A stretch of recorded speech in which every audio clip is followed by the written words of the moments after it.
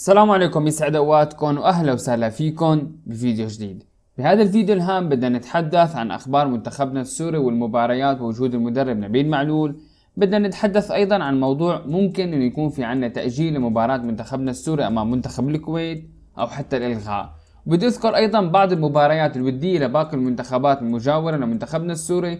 كيف عم يكون في عنا تحضير مباريات رغم صعوبة السفر والتنقل وإجراءات السفر بسبب انتشار الوباء؟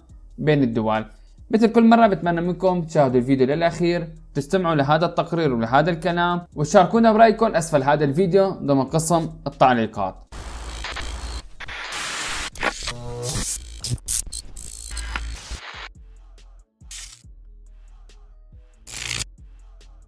المدرب التونسي نبيل معلول بآخر فترة كان بدمشق متواجد كان في عنا حضور وتحضير واستعداد من أجل وجود معسكر داخلي للمنتخب السوري طبعا هذا التحضير من أجل وجود مباراة ودية أمام منتخب الكويت بواحد آذار. لكن للأسف بعض الأخبار من الممكن يكون في عنا تأجيل لهي المباراة أو حتى إلغاء. صراحة بسبب قيود السفر اللي عم تكون موجودة بين البلدان وبسبب الإجراءات اللي عم تكون مختلفة بين بلد لتاني بسبب انتشار الوباء حسب عدد الإصابات بكل بلد. نتمنى إن شاء الله انتهاء من هذا الوباء. السلامة للجميع. الله يحمي الجميع. ونتخلص من هذا المرض اللي عم يأثر على معظم مفاصل الحياة رياضية أو حتى غير رياضية والمدرب التونسي نبيل معلول خلال تواجده بسوريا عم يتابع بعض المباريات قبل انتهاء مرحلة الذهاب. عم يكون في عنده اجتماع مع بعض اللاعبين. من أجل التحضير للمعسكر القادم استئناف المباريات. ومن المتوقع يكون في عندنا معسكر داخلي مثل ما ذكرت من اللاعبين المحليين. بالدوري السوري. حاليا لسه ما تأكد الخبر إلغاء المباراة أو تأجيل المباراة. وأثناء تسجيل هذا الفيديو عم يكون في عنا مباراة للنادي العربي الكويتي وعم يتألق النجم علاء الدين الدالي وعم يسجل الهدف الأول. إن شاء الله بيكون في عنا تقرير مفصل عن اللاعبين السوريين ونتائجهم بالمباريات المختلفة بالدوريات المختلفة. لكن نحن ما بنتمنى يكون في عنا تأجيل نشاهد المنتخب السوري نشاهد أيضا تخطيط والتكتيك للمدرب نبيل معلول مع نصور قاسيون بالمباريات الودية قبل استئناف مشوار التصفيات الصعب أبدا ما سهل بباقي المباريات. لأن المباريتين غير كافيتين أبدا لتقييم أداء المنتخب بالمباريات الماضية اللي كانت أمام الأردن وأمام منتخب أوزباكستان. يلي انتهوا بالخسارة وبالفوز والملف الأهم هو ملف اللاعب عمر خريبين يلي نحن بنتمنى عودته للمنتخب السوري. وما بدنا ابدا يكون في عنا أي خلاف مع أي مدرب أو مع أي لاعب لأنه قوة منتخب السوري بوجود جميع اللاعبين المحترفين واللاعبين المميزين من الدوري السوري. لكن من خلال اطلاعي على مباريات الودية اللي عم تكون حاليا عم نشاهد من خلال موقع كرة الرسمي اللي عم يغطي أبرز الأخبار والمباريات الودية حول العالم عم نشاهد إنه باقي المنتخبات المجاورة لمنتخبنا السوري عم يكون في عنده مباريات ودية. يعني المنتخب العراقي كان في عنده مباراة ودية أمام الكويت. أيضا المنتخب الأردني من أحد المنتخبات المنظمة اللي عم تكون بمعسكر بالإمارات. وعم نشاهد المنتخب الأردني عم يكون بعديد من المباريات الودية أمام منتخبات طاجكستان. قادما في عنده منتخب أوزباكستان. عم يستعد وعم يحضر بشكل جيد لمشوار التصفيات. نحن بنتمنى يكون في عندنا جدول ثابت يكون في عندنا خطة موضوعة من الاتحاد العربي السوري لكرة القدم للمنتخب السوري بباقي الأيام. يعني باقي المنتخبات مثل الأردن والعراق وحتى الكويت قبل موضوع الإغلاق اللي عم يكون عم نشاهد في عنده مباريات وتحضيرات من اللاعبين المحليين. نتمنى يكون في عنا إحنا هيك شيء لمنتخبنا السوري بواقي الأيام. المفروض يكون في عنا مباريات ودية أكثر من مباراة. وأيضا في حال إلغاء مباراة منتخبنا السوري أمام الكويت المفروض يكون في عنا مباراة مع أحد المنتخبات أيضا منتخب ثاني وثالث من أجل التحضير الجيد.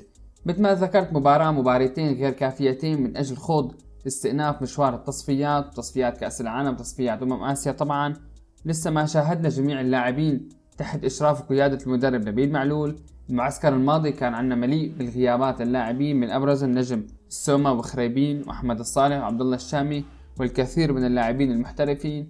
فنحن بنتمنى يكون في عنا تنظيم بالعمل أكثر لمباريات المنتخب لأن جميع المنتخبات بالقارة عم تستعد وعم تحضر بشكل جيد وبشكل ممتاز. التأهل لكأس العالم والتأهل لبطولة أمم آسيا حق مشروع لجميع المنتخبات بالقارة. وأيضا ما بننسى موضوع ملف اللاعبين المحترفين بالخارج يلي من الممكن يكون في عنا استدعاء لبعض المحترفين لانضمامهم للمنتخب السوري مثل ما ذكرت لاستئناف مشوار التصفيات. نتمنى يكون في عنا توضيح تصريح من المدرب التونسي نبيل معلول توضيح أكثر لخطة العمل القادمة للمنتخب السوري. نتمنى كل التوفيق إن شاء الله لمنتخبنا السوري باستئناف مباريات تصفيات كأس العالم تصفيات أمم آسيا القادمة. عم نشاهد مواعيد المباريات الرسمية طبعا الثابتة إلى الآن. إن شاء الله ما يكون في عنا أبدا أي تأجيل لمشوار التصفيات. لمنتخبنا ولباقي المنتخبات بقارة آسيا لأنه قارة آسيا من القارات الغريبة العجيبة الموجودة بالعالم بتأجيل المباريات للمنتخبات أو حتى البطولات للأندية مثل دوري أبطال آسيا كأس الاتحاد الآسيوي. فشل كبير عم نشاهده بهاي القارة من خلال تنظيم البطولات. مثل ما ذكرت نتمنى كل التوفيق إن شاء الله لمنتخبنا السوري بباقي المباريات الودية والرسمية. وإن شاء الله التأهل لكأس العالم قريبا لنسور قاسيون تحت قيادة المدرب التونسي نبيل معلول وتحقيق الحلم السوري لأول مرة بالوصول لكأس العالم. بتمنى منكم تشاركونا رأيكم حول موضوع عدم وجود مباريات ودية لمنتخبنا السوري حاليا. مثل ما ذكرت المباريات الرسمية عم تكون منتخبنا السوري أمام منتخب المالديف ب 30 آذار أي بنهاية الشهر الثالث. أما أمام منتخب جوام ب 7 حزيران 7 الشهر السادس. أما المباراة الأخيرة أمام منتخب الصين ب 15 حزيران أي 15 الشهر السادس أيضا. وإن شاء الله التأهل لسوريا للدور القادم من مشوار التصفيات. اليوم التعبت أولى جولات لمباريات الدوري السوري طبعا مباريات الإياب الجولة 14 كان في عندنا مفاجآت كبيرة وواضحة بهاي الجولة. نادي حطين عم يحسم ديربي مدينة اللاذقية بالفوز على نادي تشرين المتصدر بنتيجة 1-0 وعم يهدى الصدارة لنادي الجيش اللي حسم قمة المباريات أمام نادي الاتحاد واستطاع إسقاط أهلي حلب بنتيجة 3-0 البرتقالة الدمشقية نادي الوحدة عم يستطيع هزيمة نادي الحرية بالشام بنتيجة 1-0 أما نادي الكرامة عم يقفز للمركز الثاني خلف نادي الجيش المتصدر بعد الفوز على نادي حرجلة بنتيجة هدفين لهدف والتعادل الإيجابي بين فريق جبلة والطليعة بهدف لكل فريق والتعادل السلبي لمباراة الوثبة أمام الساحل بمدينة حمص. أما مباراة الشرطة أمام نادي الفتوة نادي الشرطة عم يزيد من جراح نادي الفتوة بعد هزيمته بنتيجة هدفين دون رد.